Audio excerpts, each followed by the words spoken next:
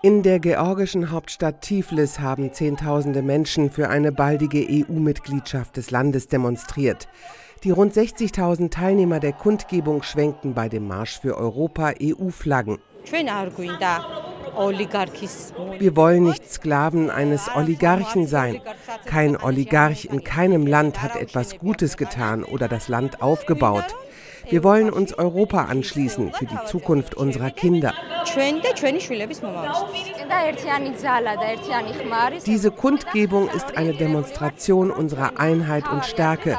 Wir wollen unsere gemeinsame Überzeugung demonstrieren und heute hier sagen, dass wir Teil der europäischen Familie sind. Die Europäische Kommission hatte vor wenigen Tagen empfohlen, der Ukraine und dem Nachbarland Moldau den EU-Kandidatenstatus zu verleihen.